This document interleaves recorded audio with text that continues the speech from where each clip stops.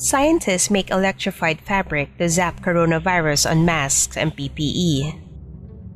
The U.S. Centers for Disease Control and Prevention recommends that everyone over the age of 2 wear cloth face coverings in public because even cloth can help prevent coronavirus positive individuals from infecting others.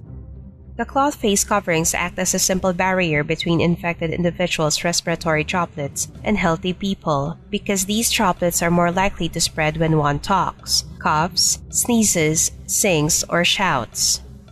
According to the CDC, they decided to recommend the use of face coverings based on what they could gather about COVID 19 and the role cloth face masks play in reducing the spray of droplets in clinical and laboratory studies. People now wear masks and other personal protective equipment not just in the hospital setting but in public places, especially where it is difficult to practice social distancing. However, touching areas of the fabric that have been contaminated with particles of the novel coronavirus can still pose a risk to people wearing these face coverings. People could catch these infectious particles by touching the front of a used mask or in the process of removing their personal protective equipment. This is why scientists are developing masks that can repel or inactivate coronaviruses like SARS CoV 2. Indiana Center for Regenerative Medicine Director Chandan Sen and his colleagues at Indiana University have been researching on electroceutical materials that can generate electric fields across the surface of the fabric.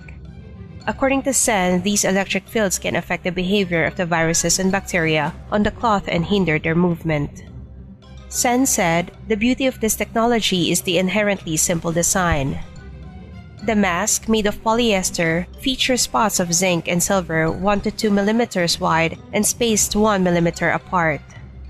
The fabric acts just like any fabric when it is dry, but when saliva or respiratory droplets get the fabric wet, the fabric's electrochemical reaction begins. The zinc and silver dots form a weak electric field that can reportedly zap the pathogens on the fabric. Sen's team has already proven that the material could destabilize a different coronavirus strain and lentivirus in tests. Though the material was first created in partnership with biotech company Vomaris Innovations in 2012, it continues to be the subject of studies about its effectiveness for different uses, such as in wound care.